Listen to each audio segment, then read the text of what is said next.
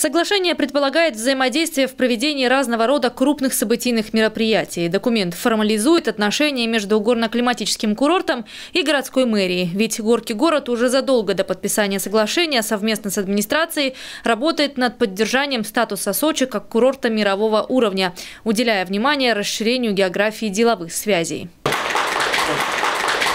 Ура! Ура!